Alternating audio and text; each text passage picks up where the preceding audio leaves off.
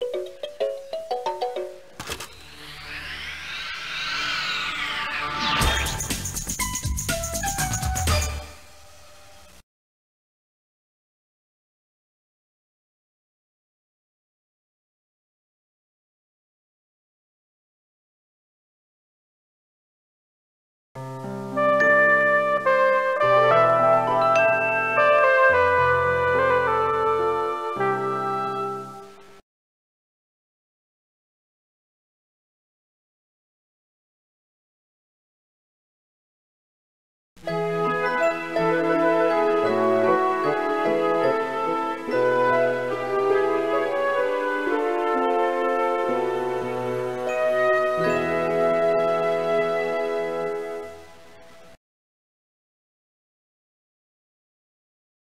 Before the story begins, type in your name either by clicking on the letters or by using the keyboard. When you are finished, click on the top leaf.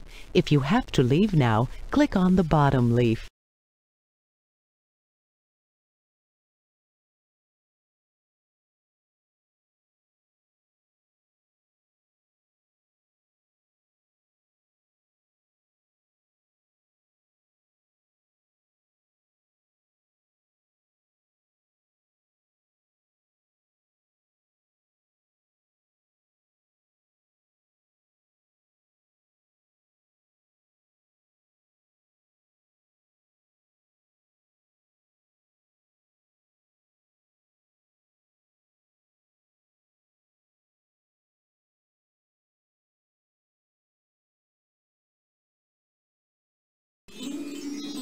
Oh, hello! Welcome to my magic garden. My name is Celinda. No need to tell me who you are. I already know. How? Because I'm your fairy godmother. Everybody has one, you know. And my favorite thing to do when I'm not tending my garden is to tell stories. What kind of stories? Why, fairy tales, of course. And today, I'd like to tell you the story of Rapunzel.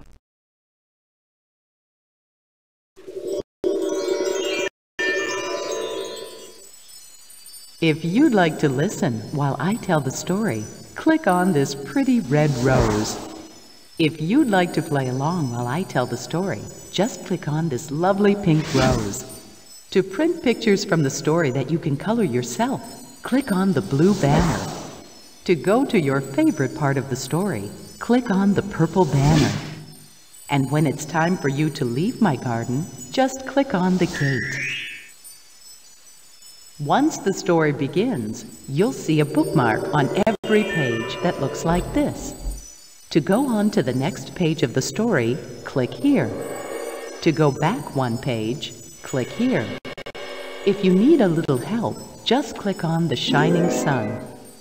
During the story, you'll help Rapunzel collect some things she needs. When you want to see what you've collected so far, just click on the velvet bag. If you want to leave the story, click on the gate. When you want to return to my garden for a visit, just click on this lovely rose.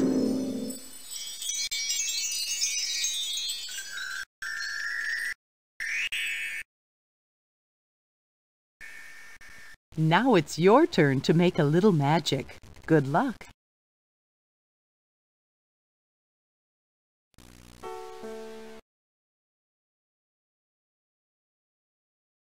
Once upon a time, in a land far away, a beautiful princess was born.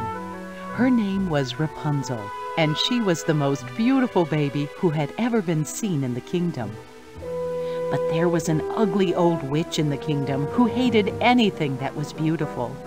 She lived alone in the darkest part of the forest with only two wicked ravens for company.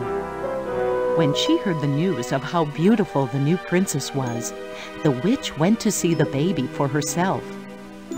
The royal court gave Princess Rapunzel all of their attention, leaving none for the witch. Angry at being ignored and jealous of the infant's beauty, the witch used her evil magic to take a terrible revenge. One summer morning, the witch snatched up the little princess and flew away on her magic broom. They flew to a secret tower far away from the castle, where the witch locked baby Rapunzel inside. The tower had no doors or stairs. The only way in or out was a single window so high up that only the witch and the birds could fly through it.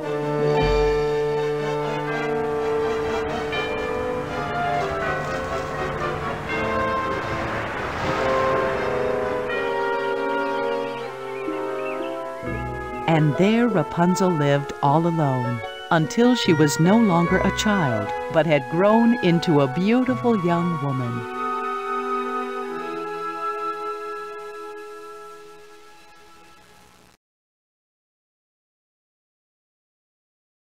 Rapunzel had no human friends, but three birds, Twitter, Peep, and Cheep, visited every day. Her only other companion was Sullen, a grumpy magic mirror.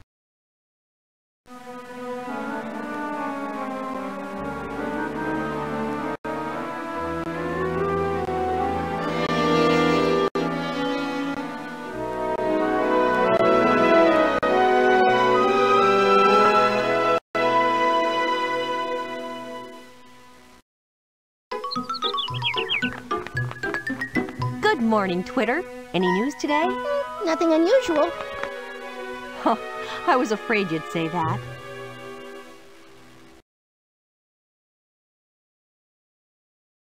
Isn't it a beautiful morning, Sullen?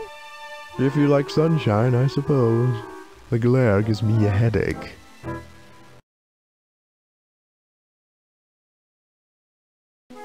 I wonder what it's like out there, outside of this tower. The world can be a dangerous place, Rapunzel. Cats everywhere, you know? You're safe in your nest, even if you're not always happy. I guess so, but sometimes being safe just isn't very exciting.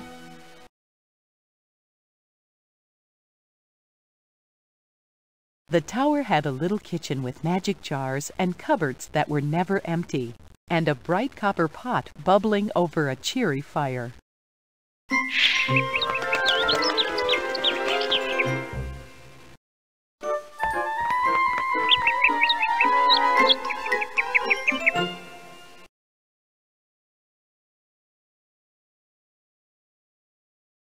One summer day, a handsome prince named Galen was traveling through the kingdom when he passed by Rapunzel's tower.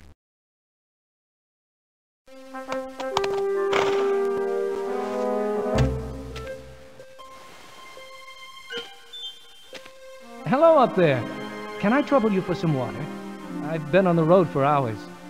I'd love to help, but there's no way in or out of this tower. My hair might be long enough for you to use as a rope. Thanks. My name's Galen. And I'm Rapunzel. And if the witch finds out about this...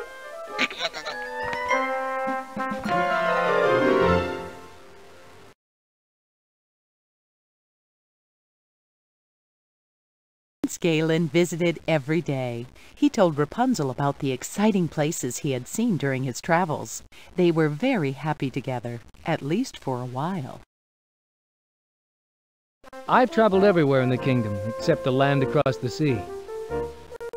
But I've never met anyone as wonderful as you. I'd like to see all those places too. Maybe someday we can see them together. Hmm. So that's why Rapunzel's been so happy lately. I'll have to get rid of that meddling prince.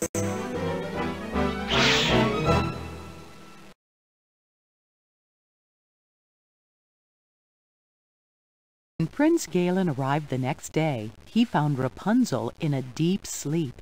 Neither he nor her other friends could wake her.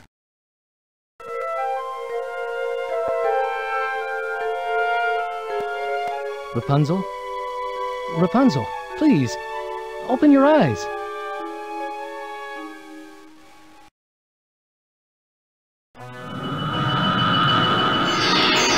What have you done to her?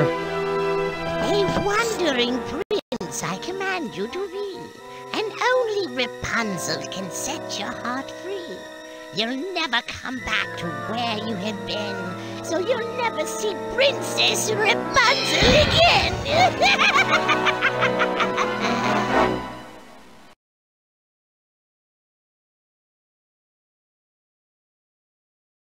When Rapunzel woke up, she learned about the witch's evil spell.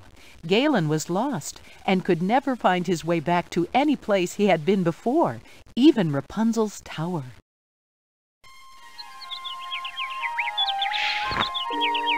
And only a kiss from you can break the spell. And I'll need to give him that kiss, won't I? But the prince can't find his way back here again. Then I'll have to find him.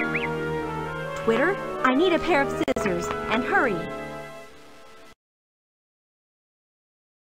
I hope you know what you're doing. It will take years for your hair to grow long enough to make another rope. It's a chance I have to take. Wish me luck.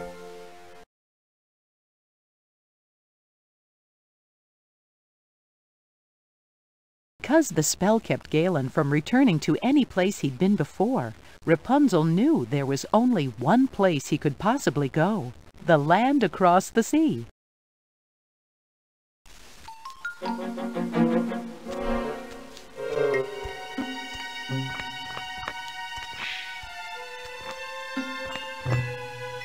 The only place Galen has never been before. Look! We can take this boat and sail across the sea.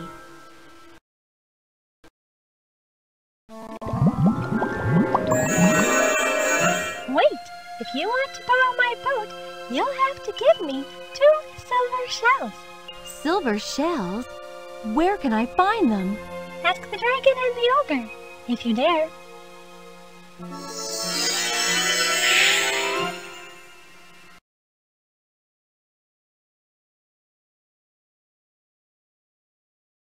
Rapunzel found the dragon's cave deep in the forest. The dragon was very large, and Rapunzel knew she would have to be brave to get the silver shell.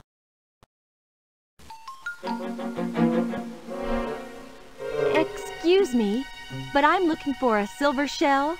Do you know where I might find one? I'll give you one, if you can prove yourself worthy. Help me sort my treasure, and you shall have your reward.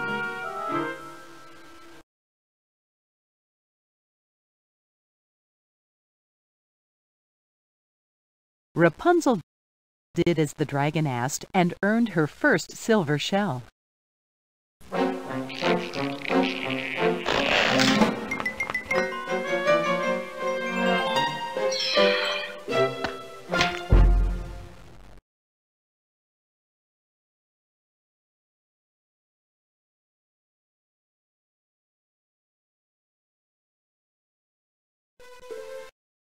You've done well.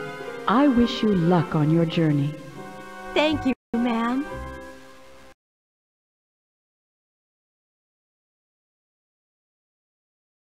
Rapunzel found the ogre's cottage, but the ogre was very grouchy. Maybe he would give her a silver shell just to make her go away.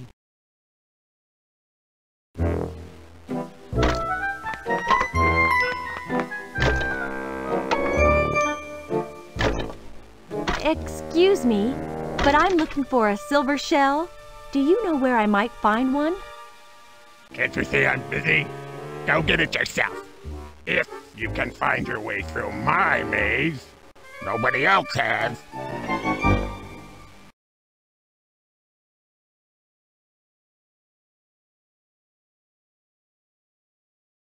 Rapunzel found her way through the ogre's maze and earned her second silver shell.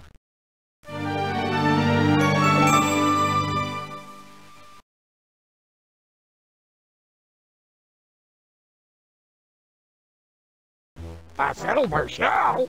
How did you... Ah, get out of my forest! Gladly.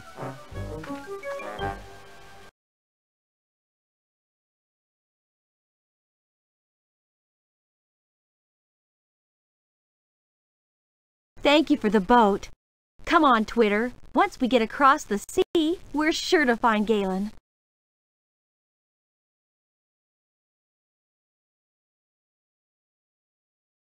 After crossing the sea, Rapunzel came to a village where everyone was getting ready for a big wedding. She hoped that someone in this busy place had seen Galen. Have you seen a handsome prince on a white horse ride through here today? If I did, dearie, I'd keep him for myself. I saw a prince today. He was so handsome. If you can get me some bread for my geese and some ribbons for my hair, I'll tell you which way he went.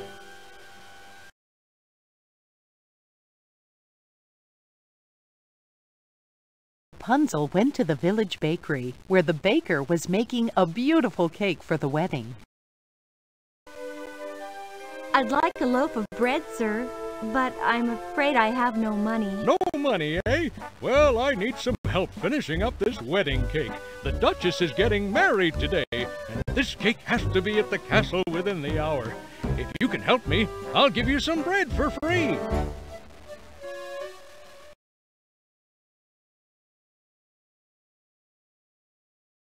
Rapunzel finished the cake in time and earned a loaf of bread.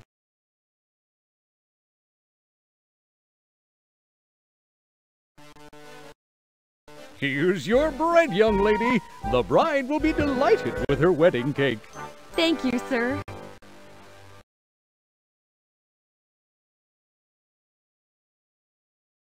Rapunzel went to the village dress shop, where she met a dressmaker hurrying to finish the bridesmaids' dresses in time for the wedding. I'd like some hair ribbons, but I have no money.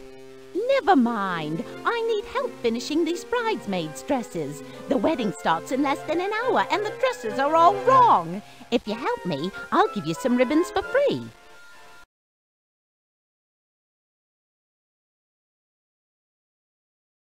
Rapunzel fixed the bridesmaids' dresses in time and earned some pretty ribbons.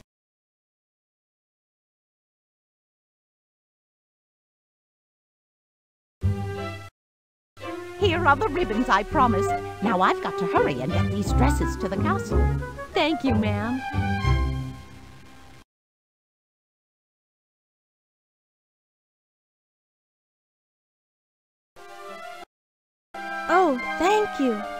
I saw a handsome prince riding toward the woods just east of here. He looked like he was lost. That's him. I'd better hurry there now. Thank you.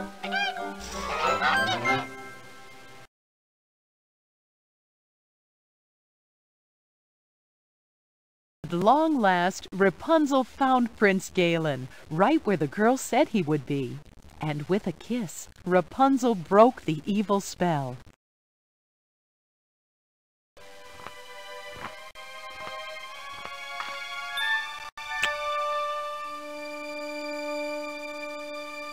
Rapunzel, where... Uh, how did you find me? Well, I had a lot of help along the way.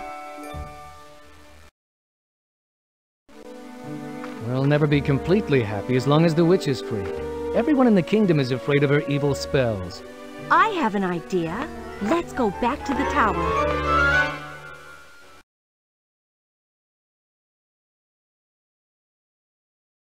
Rapunzel and Galen returned home. They hid near the witch's house while Twitter helped carry out their plan for getting rid of the witch forever.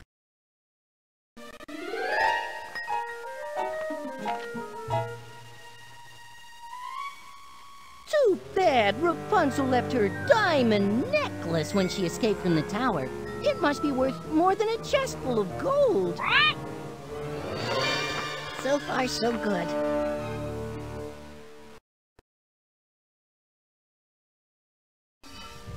A diamond necklace, you say? I'll be rich. It worked! Come on, let's follow her.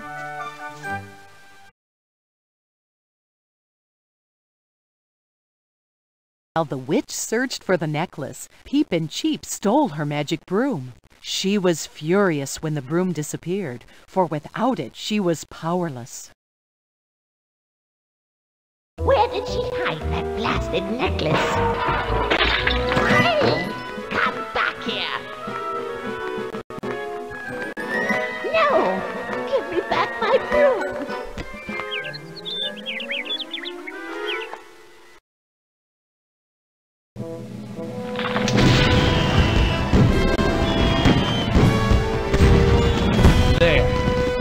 Evil magic is gone. She won't cause trouble for anyone, ever again. Wait! You can't just leave me up here! Don't worry, Sullen will keep you company. Won't you, Sullen? Oh, I suppose.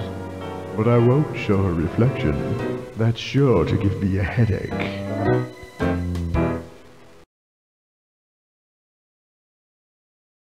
With the witch safely trapped in the tower, no one in the kingdom had to be afraid of her ever again. Rapunzel and Prince Galen rode away together, and, as you might expect, they lived happily ever after.